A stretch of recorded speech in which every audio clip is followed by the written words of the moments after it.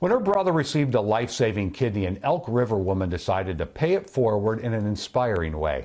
WCCO's John Lauritsen shows us how an act of kindness is giving a stranger a new lease on life. It wasn't really up until about two years ago that the doctors said, you know, you got about a year, year and a half, which was actually kind of a shock. Um, to our family. Katie Shatusky's brother Chad had been struggling with polycystic kidney disease for about 20 years, a condition that runs in the family.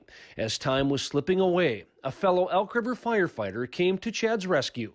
He stepped up to the plate and decided to get tested, and lo and behold, I was actually a match for my brother, but he was a better match. Katie had always planned to give her brother a kidney, and even though he was now taken care of, her desire to pay it forward only grew stronger. I still knew that in my heart I wanted to donate to somebody else. Through Facebook, she found out about Joel Johnson, a father of two whose kidneys were failing rapidly. It's an autoimmune disease that attacks the kidneys like they're a foreign object. Katie soon discovered she was a match for Joel and without hesitating told him she was ready to be his donor. It was an overwhelming feeling just of happiness and relief. Last month at M Health Fairview, Katie gave Joel a new lease on life.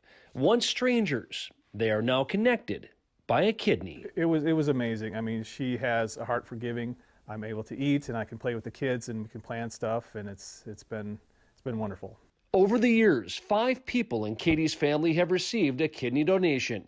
She's grateful to be on the giving side of things. I know this is a gift for him, but it's just as much a gift for me. I feel like God kind of had a plan all along that it was supposed to be Joel.